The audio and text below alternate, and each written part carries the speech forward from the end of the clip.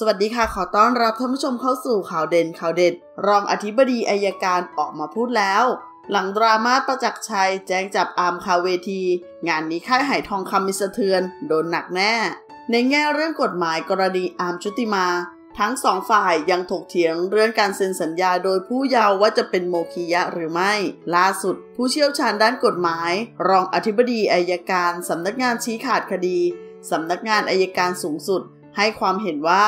พ่อและแม่เซ็นเป็นพยานถือว่าสัญญาไม่สมบูรณ์ และหากมองว่าไม่ได้รับความเป็นธรรม ก็สามารถยกเลิกได้ทันที เมื่อวันที่ 25 ตุลาคม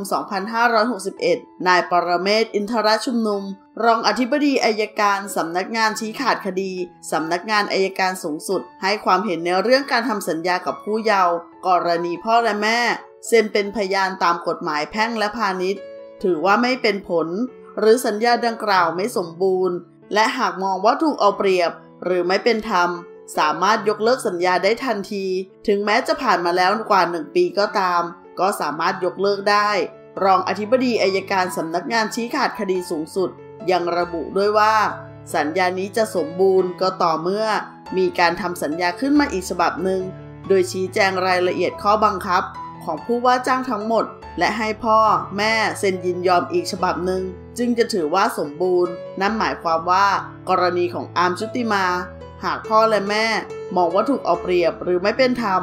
สามารถยกเลิกสัญญาได้ทันที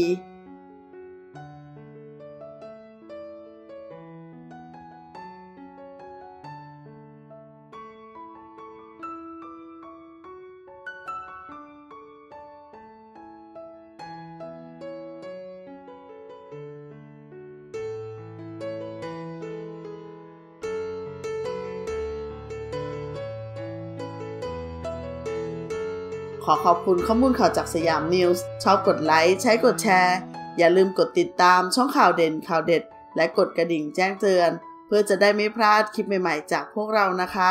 ขอขอบคุณท่านผู้ชมทุกท่าน สวัสดีค่ะ